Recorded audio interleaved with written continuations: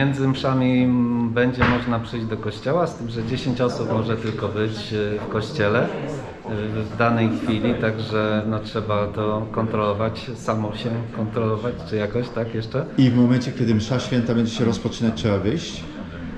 Y, Tak, normalnie gdzieś godzinkę przed myślę, że trzeba opuścić kościół i, i musi być no, gotowy na ewentualne przygotowanie, oczyszczenie czy, czy cokolwiek, żeby y, móc być właśnie tak jak ma być.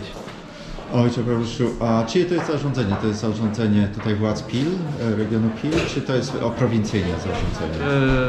Y, Że o zamknięciu To jest, kościoła, e, że nie, ma, że może, nie może być Władze mszy świętej. y, prowincji, Ontario, tak, Ontario, że, że msza jest, tyle, że, y, że właśnie jak, jak jest, jak jest w porozumieniu z archidiecezją, y, mamy zarządzenia, że mszy nie może być publicznej, tylko właśnie y, odprawiana przez kapłana.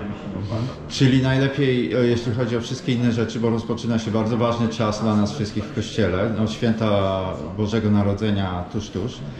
E, Jak do tego się przygotować? Śledzić e, stronę internetową e, i tam będą wszystkie rzeczy, które Jak można najszybciej- będzie w domu robić. Tak, jak najszybciej postaramy się aktualizować naszą stronę internetową, wszystkie inne media, jakie mamy dostępne, czy to Facebook, czy inne rzeczy, żeby tam były aktualne linki, informacje. Y, Szczególnie staramy się opracować, jak zrobić spowiedź, żeby, No żeby to w czasie Adwentu zapewnić i będą po prostu y, rejestracje na konkretną godzinę, tak żeby więcej jak 10 osób y, nie było. Czyli będzie można się zapisać na konkretną godzinę poprzez cały y, Adwent, który jest aż do Bożego Narodzenia, albo i kto wie, dłużej. Y, Był taki pomysł y, msze samochodowe, to znaczy to protestanci robili to w, Stanach Zjednoczonych tutaj i chyba y, z tego co jak ja doczytałem w tym y, komunikacie premiera, y, wszystkie te rzeczy drive-thru, drive-in zostają, czyli jak gdyby no, można by było tego rodzaju y, mszę świętą organizować. Y, Tego jeszcze nie jestem pewny, może, bo tu jest premier i jest też nasz y, arcybiskup, kardynał, który y, razem jakoś pewnie współgrają, współdziałają. I to jest decyzja, przede jeśli chodzi o nasz kościelny, to dostosowują oczywiście do tego prawa, które jest w Ontario nadane. I potem oczywiście kardynał może zarządzić, y, nie wiem, jeszcze coś innego, czegoś, coś dozwolić, coś zabronić, nie? Jest E, jego Te, te rzeczy dotyczą regionu Peel, czyli na przykład Oakville już y, kieruje się innymi zasadami, Hamilton, Burlington. Region Peel, y, nie wiem dokładnie jak daleko sięga, na pewno my. y, Mhm. Ale jest, jeśli y, chodzi o pod- władzę kościelną, to dotyczy y, archidiecezji. Archidiecezja y, Toronto sięga.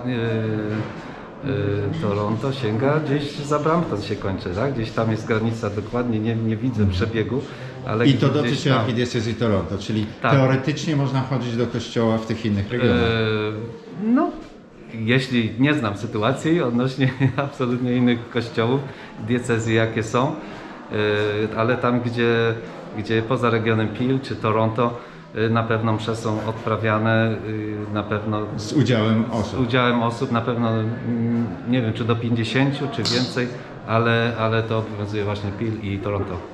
Ojcze proboszczu, dziękuję bardzo, dziękuję za te wszystkie wyjaśnienia. No i jeśli tylko jakieś nowe informacje, to oczywiście proszę do nas również, będziemy nagłaśniać jak Dzięki najszerzej. bardzo. Dziękuję Dzięki bardzo. wszystkiego dobrego, dobrego adwentu, błogosławionego.